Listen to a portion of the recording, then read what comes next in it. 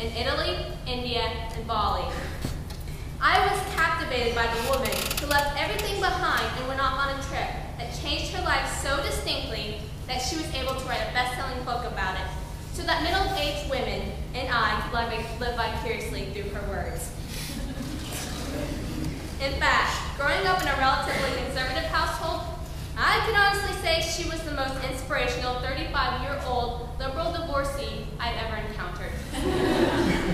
she was practically my role model. Yet perhaps what drove me to appreciate her story so much was the fact that her reason, her so-called purpose to do these things, which someone like me could only imagine reading about, was to escape the hardships and the pressures of the overwhelming world she lived in.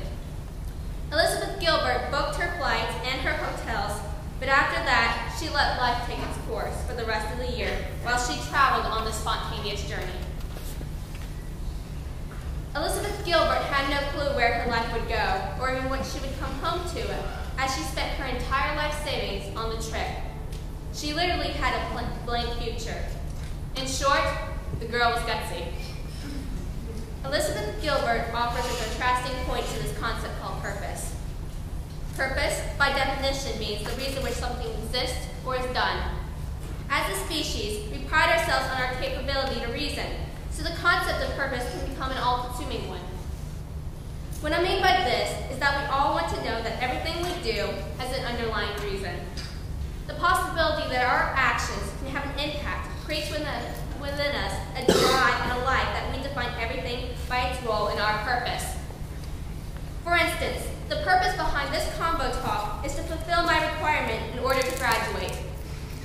I am not speaking up here merely to bestow my imparted wisdom upon you, my dear younglings, though I am sure you await my message with eager ears.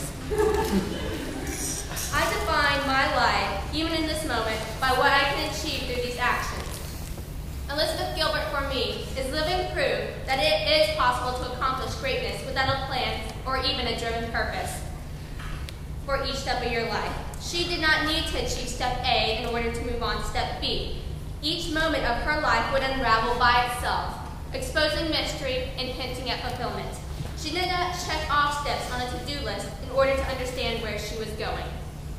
Nevertheless, I can't understand how this could be a scary concept to grasp, as living life without purpose seems more like a leap of faith. Purpose is so instinctual that it is even embedded into our youth. Remember when you were younger and your parents asked you to do something because they said so, and you were feeling you are left feeling incomplete and lacking any motivation to perform whatever they asked? For it is comforting to know whatever we do and whenever we do it, it is for not for nothing and we eventually achieve something because of it, or at least at the very least, get something worthwhile out of it. We understand purpose as the answer to the age-old question of why we exist.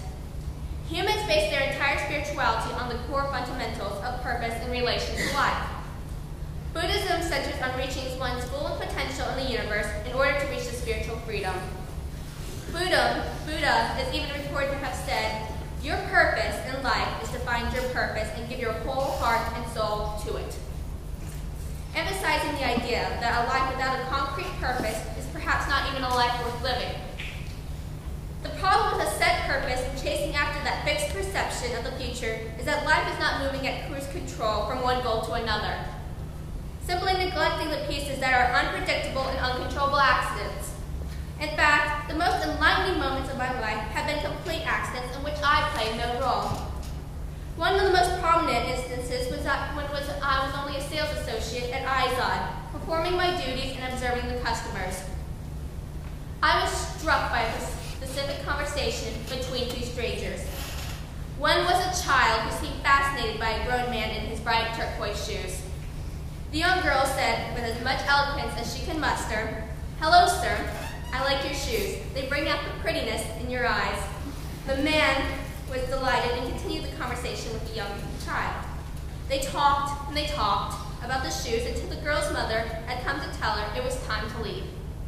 At the final goodbye, the man said, Before you go, I want to tell you something.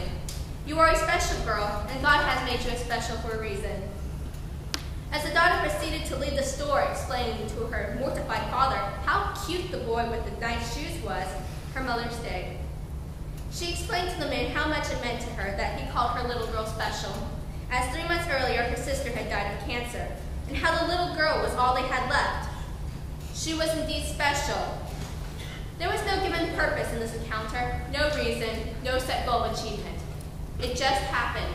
Yet it was so great that there did not need to be a purpose behind it. It just needed to happen. Purpose, in the end, becomes more of a crutch on which we hold our burdens of expectations and hopes for the future.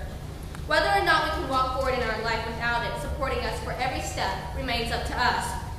To strive for excellence and that shining idea of a future can be great, but with an overwhelming reason controlling your life, the chase not only takes away from the happy accidents, but also the key moments that shape life, which allow us to reach this greatness.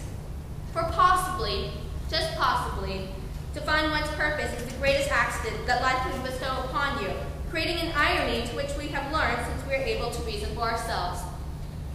Perhaps, as Oscar Wilde said, a paradox is only the truth standing on its head to gain attention. Stumbling upon your own purpose seems to be a paradox as we are so wired to find our own paths, and thus just sitting around waiting seems to be opposite of what we should do. We should be searching desperately to find our niche in the world. We should prepare ourselves for that golden opportunity. Yet, we hear of the everyday stories of life-changing moments that were not planned and were not even considered. For instance, David Quammen, our latest computational speaker and highly recognized science writer, admitted to wanting to be a fiction writer. He earned his degree in English and even published a book before discovering nonfiction. David Quammen would not discover his passion for nonfiction writing until 10 years later through what he thought was a filler job until his next book. If a paradox is really the truth standing on its head, we can understand the idea of purpose is not derived from what we plan, but what we experience outside of our control. In a way, we must let go of what we cannot control.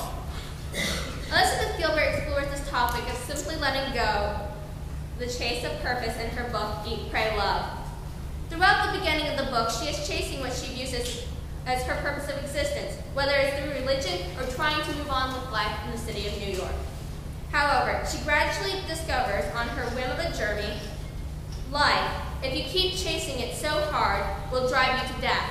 Time, when pursued like a bandit, will behave like one, always remaining one country or one room ahead of you, its name and hair color to elude you, slipping out the back door of a motel just as you're banging through the lobby with your newest search warning warrant, leaving only a burning cigarette in the ashtray to taunt you. At some point, you have to stop because it won't. At some point, you have to admit that you can't catch it, that you're not supposed to catch it. At some point, you've got to let go and sit still and allow contentment to come to you. It is easy to understand, and it's, it's easy to understand that life and its experiences are not in our control. However, it is more difficult to accept that we may not control who we will become. Today, we cling to the idea of, of our purpose, we fight for it, for it, and we take every precaution and opportunity to secure our assumed future. Yet, as much preparation, as much effort we put into our supposed purpose, life influences us, takes us in a new direction, and changes who we are at the end of tomorrow. Whoever we end up being, whatever our purpose is, it can be revealed through only time.